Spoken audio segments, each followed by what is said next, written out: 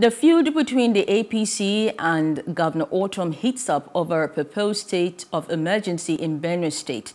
But the Attorney General of the state, Mr. Michael Gusa, has said the governor is doing his best to maintain peace in the state. He said this today on our show, Plus Politics. The governor has not drawn a battle line with the presidency. The governor is somebody that knows the law. The governor is somebody that respects due process and rule of law. The governor is somebody that is very humble.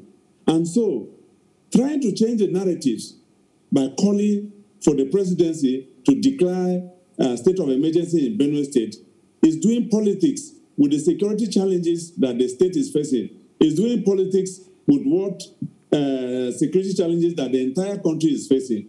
Because this is not just in Benue State. You hear and you see these killings every day in Niger State, in Plateau State, in uh, Katsina State, uh, in Zamfara State, and all over the uh, country.